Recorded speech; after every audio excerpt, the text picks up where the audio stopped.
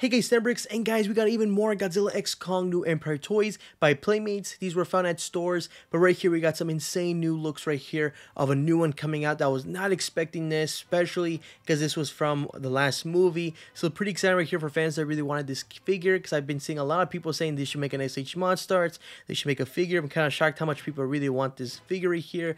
But really quick here, some of the other ones that were announced. Um, The first one right here is another Godzilla uh, with their atomic breath right here. Pretty excited to see this one right here. Um, the, packaging so far looks great right here. Looks like to be another $15 price point most likely. Sorry again if the picture's not the best. It's so far the best picture we got of it. And right here for the other one right here is going to be a Kong and a Scar King 2-pack. Same thing as Godzilla and Shimo. There was a 2-pack of that. So right here we got a Kong one with Scar King. So it looks pretty good. The coloring in this one looks pretty interesting right there. Looks like Kong has some orange in his chest. Uh, same thing for his hand. Shimo also has some in his right hand looks like and maybe a little bit of his face. Looks pretty good right there. Most likely this could be around uh, 20 to 30 dollars. Most likely would be around 30 is my guess right there but i guess we'll wait and see until january 1st or most likely when people say how much the price point is. So that's right there the two new ones right there. Um, we also did get a little image better not the best image i'm sorry it's actually really uh, hard to show right here is actually the mask right here for kong.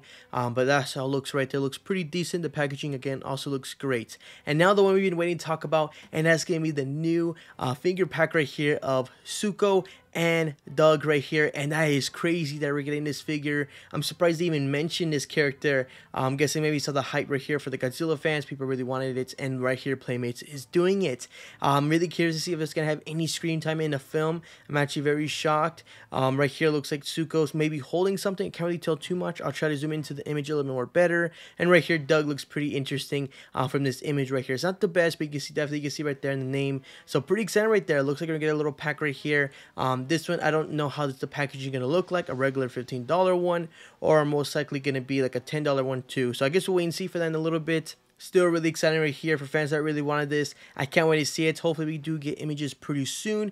Most likely will be just in a couple days. I will probably see images for that. So, so far pretty excited right here for Godzilla X Kong New Empire Toys. If there's any more updates, I'll let you guys know as soon as I can. But I guess we'll see for that. But that's pretty much everything right there, guys. Hope you guys enjoyed. See you next time. Bye.